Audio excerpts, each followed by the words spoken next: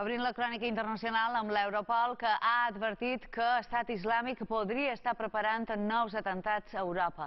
Assegura que desenes d'integrants del grup terrorista són al continent i que les derrotes que està patint a Síria i a l'Iraq propiciaran més arribades. En un informe sobre l'amenaça jihadista, les autoritats policials europees asseguren que el Daesh podria exportar alguns dels mètodes utilitzats en aquests països, com ara l'extorsió, el segrest o la col·locació de cotxes bomba.